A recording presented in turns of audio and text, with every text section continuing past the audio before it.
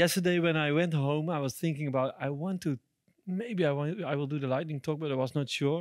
This morning when I left here, I took the book just to think maybe I will do. Then this morning with the keynote speech, a lot of mentioning of the team topologies, and I can imagine that there were a lot of people in the room who were thinking, I don't know what team topologies is. So I wrote my name on it, and during lunch I just wrote some notes, no preparation at all. But it's not really true because, as he said, I, as he already mentioned, I, I am hopefully going to be a team topologies advocate. So I have been working with this kind of stuff for a while, so I hope I know what I'm talking about. Uh, only 10 minutes left, only 9 minutes left. So it's going to be a very short introduction. And it is just a few, just a little bit of a touch of team topologies to give you a little bit of an idea. So let me just start with a very common story for all of us. You are working with different teams, different projects, different domains struggling to get your stuff in production. You have to discuss with other teams. You are always, your software is entangled. You are not really autonomous. You can't deliver your software in time. Feels like something is holding you back. Does that sound familiar to some people who recognizes that story? And uh, it has to do with, with a lot of things. It has to do with how you design your software, how you work together. It has to do with context switches. It has to do with cognitive load. So how many work are you doing in your teams? And I saw a lot of hands. And then the next question is, whom of you would like to know if there's a way to change this? Yeah, some people would be, would be willing to have some kind of flow, right? Uh, team topologies, what I'm going to talk about is not a golden rule, is not the, the perfect way to do it, but it can really help to change your organization in a better way to get better flow. So what is team topologies? Anybody who really knows already what team topologies is? I know some people do. Who has heard of it but really doesn't know what it's about? Also some hands. Nice. Who has never heard of team topologies before? Okay, nice. So that's like 30, 30, 30%, something like that, an equal split. Um, it's a practical model. It's it's not a framework. It's not really a, a, a as I said, a golden standard. It's a practical model for organizational structures. And I have something on the screen, hopefully. I'm not seeing it there, so maybe my. What is team topologies in a very short way to explain? Team topologies says you only need four types of teams. You need stream-aligned teams, the most important teams of your organization. They put the value in the market. That's where the money comes from, to say a bit, a bit, little bit blunt.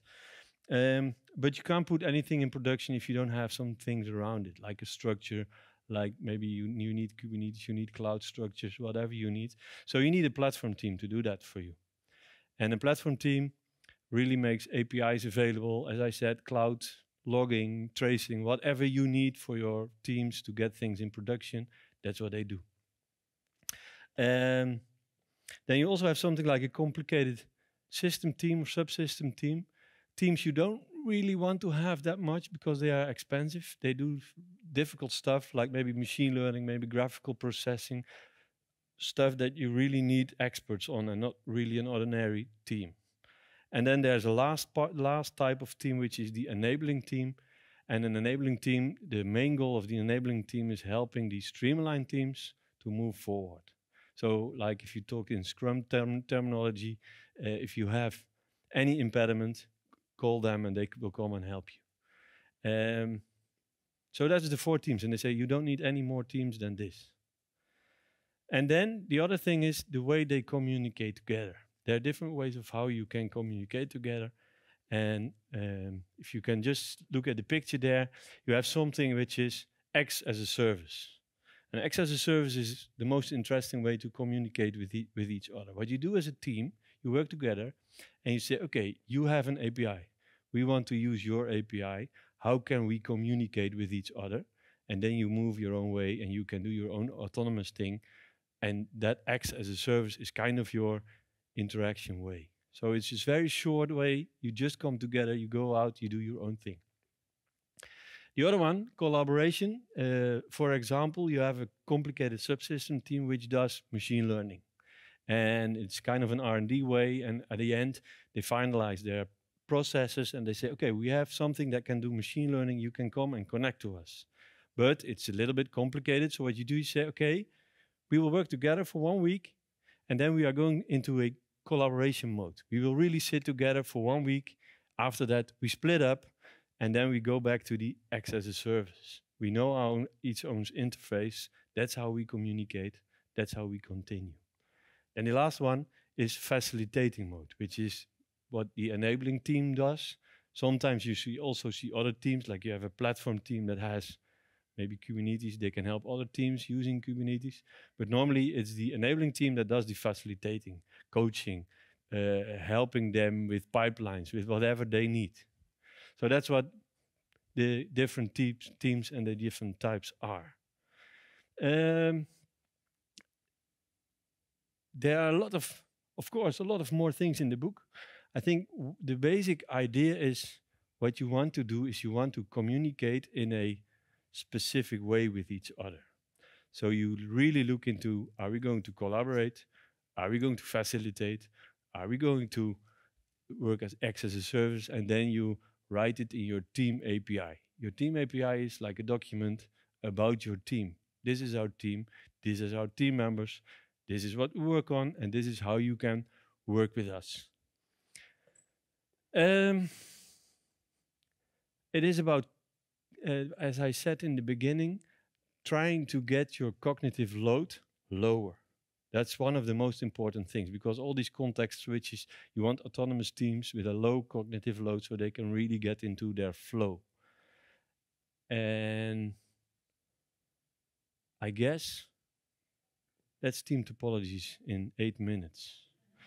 But, you know, it sounds very simple, but it's not. Because when you start working like this and you uh, uh, you will very quickly see that like when you have two teams with a lot of dependencies, you can say, okay, we are going to have X as a service, but that doesn't work. You need to work on it. You need to, so it will take a long time before you can start using, really using these principles, but it really helps you getting a vision of how you want to work, how you want to split your organization, uh, start uh, talking with like your stakeholders, your business about, okay, what are the real streams? Where is the value in? What, what do the, does this team look like? And there is one more thing I wanted to say because we are on a domain-driven design event. So what does this have to do with domain-driven design? Many times you have a team which does a bounded context or maybe two bounded contexts or a subdomain, which is very handy if you have one team doing just one thing, just one bounded context. The other team will do the other one. So you have small teams doing their own thing. And that's why, why team topology is very good works together with domain-driven design. And I think that was it.